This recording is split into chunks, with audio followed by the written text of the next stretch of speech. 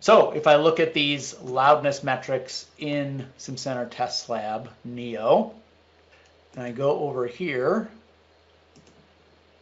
I can show you some uh, things that I've calculated. So if I show you the processing I did for each of these, I just put the vacuum recordings into my input basket. I certainly calculated the average spectrum and the spectrum map or a water waterfall of the spectrum. Then I shot it through these different loudness metrics here. So you see time varying loudness. I also have this stationary loudness, which is going to give me a loudness versus a frequency band and show me what frequencies this loudness is concentrated at. And then I can kind of combine those two into this loudness map where it will be sones or loudness, amplitude versus frequency versus time. Okay, so more like my spectrum map but in a unit of sones as opposed to decibels. If I go up here, that's the processing I did. You see I have the average spectrums. These are the ones I showed you before for brand A and brand B. If I showed you the spectrum map and I were to fix these both at say 0 to, let's just make it nice and easy, 0 to 100. Again, this guy starts a little bit late. So I'll zoom in there. Look pretty comparable, right? This is just like looking at the frequency spectrums. Well, one's louder in, you know, brand B is a little bit louder in different areas than brand A, right? Brand A has this stuff out here that's louder. We see some peaks in both. Really hard to really make an assessment.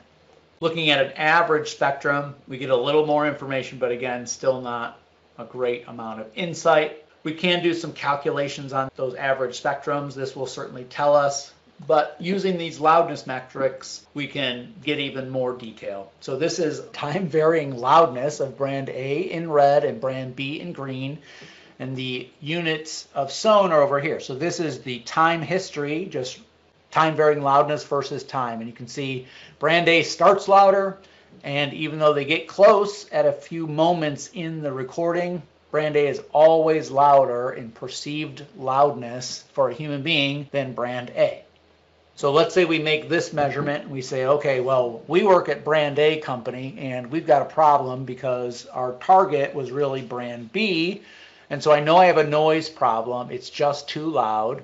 Now I can look at the stationary loudness, and this is going to tell me or give me more information as to where I need to work in terms of the frequency band to reduce that loudness. So this is called stationary loudness. And again, brand A is in red, brand B is in green. And we see right off the bat that brand A is louder at higher frequency. And right now this is shown in the critical band or bark scale.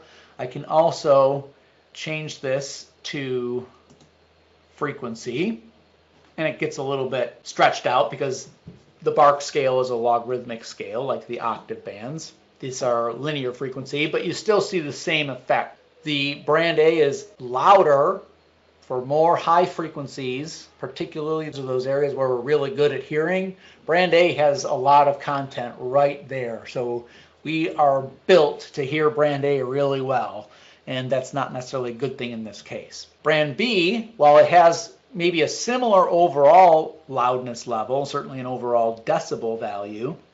A lot of its loudness is A, more spread out evenly across the frequency domain, but it's more concentrated at the low frequencies than brand A. And this is, by definition, more pleasing to the human ear and our hearing mechanism than having the energy concentrated in the high frequency brand B, this is telling me, okay, I work at brand A, I got some problems, and we're going to want to look at high frequency problem solving techniques that we can address either in the design or maybe some damping material or some acoustic covers or something that's going to absorb some of this high frequency noise and make our vacuum sound more pleasing but also less loud.